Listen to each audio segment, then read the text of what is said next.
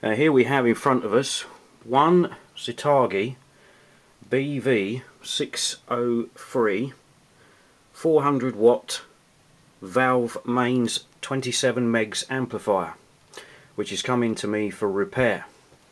Now it would appear the owner of this amplifier has been cooking it a little bit. You can see the free EL509 stroke EL519 sweep tubes down there.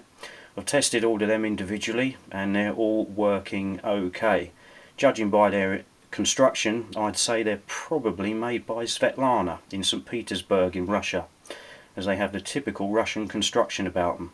Although they are marked up, uh, one has the ZG marking on it and the others don't. But they're definitely Svetlana tubes by the look of it. There's the big old chunky transformer producing about 8 900 volts for the high tension caps on the end of the tubes there. Now, two things wrong with this amp when it came into me. One, there was a dry joint. There is a small coax cable. Can't really see it very well, but it's down there between the tubes, which comes from the main board at the back here. And it feeds to this other board here, where you can see these coils and capacitors for the input on the high tension of these tubes and the coax cable had got so hot the amplifier has been subjected to so much heat the solder had melted and the actual inner part of the cable had fell off the board.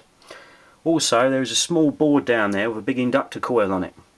It's got three screws holding it in with three insulating washing collar, washer collars. Unfortunately one of those had completely melted causing a major short on the board. Every time this amplifier was operated in TX mode there was a massive arc between negative and positive. Remember we're talking 8 900,000 volts on the HT of these caps on the tubes and we were getting a rather nice firework display and a lot of smoke. However I've stripped it all down cleaned it all up replaced the insulating collars and obviously repaired the dry joint on the cable as you can see at the back there, we've got some holes cut out with some fans in, because this amp doesn't come standard with fans. It's a bit of an abortion, I don't know who done it, and to be honest I think it's pathetic, because the fans should really be underneath the tubes, blowing air up from underneath, straight through and out the top. Where they're located, the only valve getting any air is the one at the back, so the other two don't benefit much at all, so pretty pointless.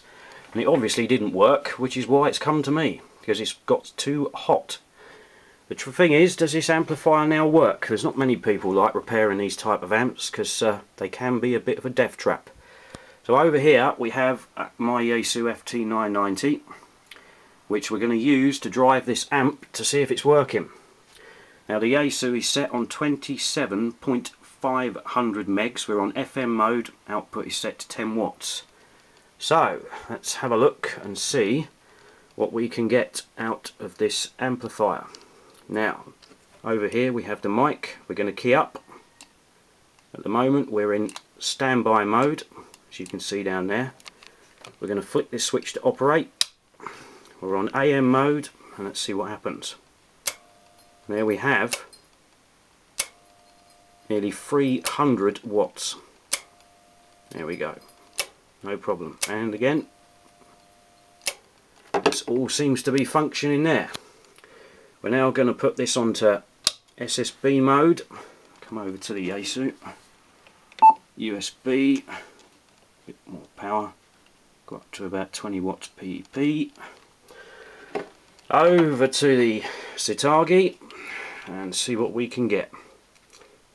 Audio, audio, audio, audio, audio.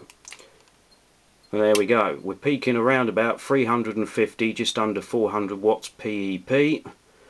Valves still seem to be glowing quite nicely. No smoke, no flashes, nothing untoward. Let's have another go. Audio, audio, audio. No problem. It seems to be functioning correctly. So there we go. One Zetagi BV603 Def Trap mains amplifier back to working order. Well, the Weazle 66 always tries his best, and once again, we've managed to repair something.